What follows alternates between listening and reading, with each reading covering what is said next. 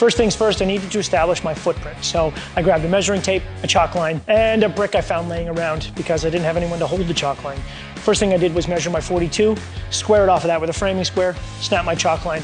Now I know the footprint in which my foundation is going to go. In this case, the foundation are these vinyl blocks from TuffBlock that we're going to be using.